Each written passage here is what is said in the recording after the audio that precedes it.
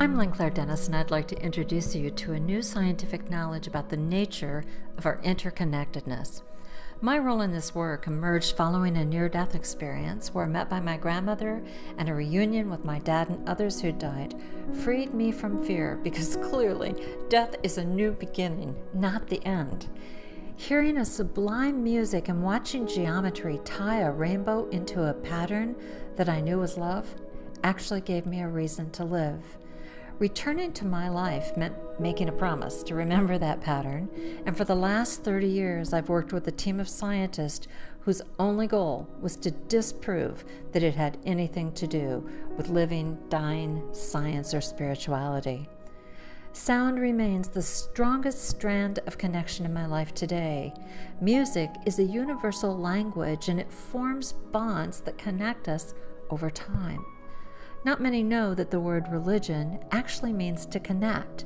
So do the words yoga, karma, sutra, curve, yoke, and knot. Frequency is the heart of creation. Your DNA is a chain of connections and carries the instructions you need to live, grow, and procreate. After years of investigation, we used the pattern's inaudible frequencies to vibrate a few drops of water, and experts who said nothing would happen were stunned when a sphere of blue light appeared, spun rings, and blossomed into the matrix.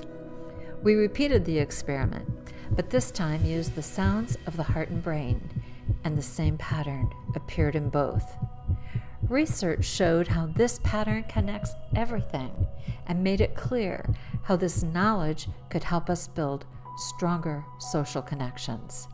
To make this a reality, we created a lifelong learning project called Belonging. It's a series of unique experiences, courses, apps, and meditation tools that let you connect with yourself so you can then build healthy relationships. Knowing how everything fits lets us design simple solutions to complex challenges.